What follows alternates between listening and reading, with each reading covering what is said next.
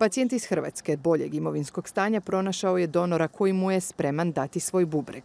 Donor nije iz Hrvatske slabijeg imovinskog stanja, a motivi za ugrožavanje vlastitog života nisu bili uvjerljivi transplantacijskom timu u bolnici Merkur.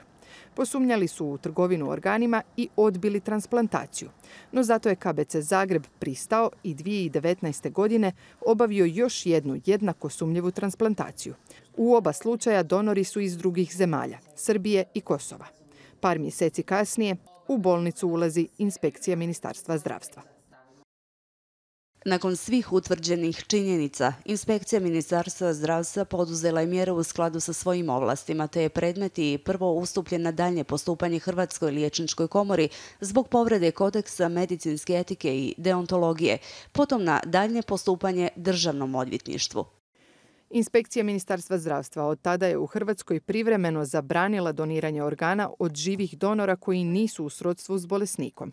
Županijsko državno odvjetništvo u Zagrebu potvrdilo je da provodi potrebne izvide, a iz KBC-a Zagreb ne komentiraju aferu. Navode tek da su vodeći centar za transplantaciju bubrega u ovom dijelu Europe i da slijede sve etičke i profesionalne standarde. Hrvatska liječnička komora potvrdila je da je bilo kršenja etičkog kodeksa, ali detalje ne iznose u javnost. No objavljeni zapisnik s posebnog sastanka Zavoda za transplantaciju i biomedicinu otkriva ključan problem.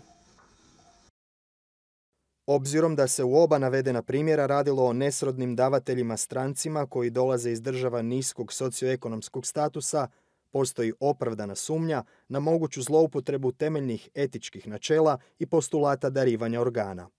Iz Udruge za promicanje prava pacijenata kažu da pokretanje istrage nije dovoljno. Za ovako ozbiljan skandal netko je u KBC u Zagreb trebao snositi sankcije.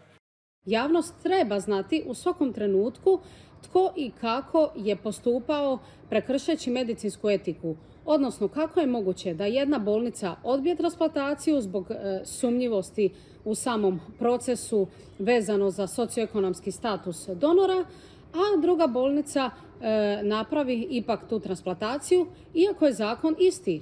Za sumnjive transplantacije sa siromašnim donorima iz Srbije i Kosova prvi su saznali pacijenti na bolničkim hodnicima i prijavili to ravnatelju KBCA Zagreb.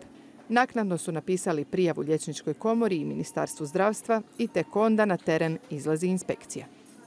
Ovo sve skupa zaista je povijesni trenutak za hrvatsku medicinu i za hrvatske pacijente jer je to prva sumnja na trgovinu organima i nije jasno zaista kako jedna ustanova može to dozvoliti e, i da nitko na to ne reagira i postavlja se zaista e, još jedno pitanje što može očekivati jedan pacijent kojemu su prekršena prava pacijenata ako na ovako velike i ozbiljne stvari, opasne stvari sve prolazi ispod radara.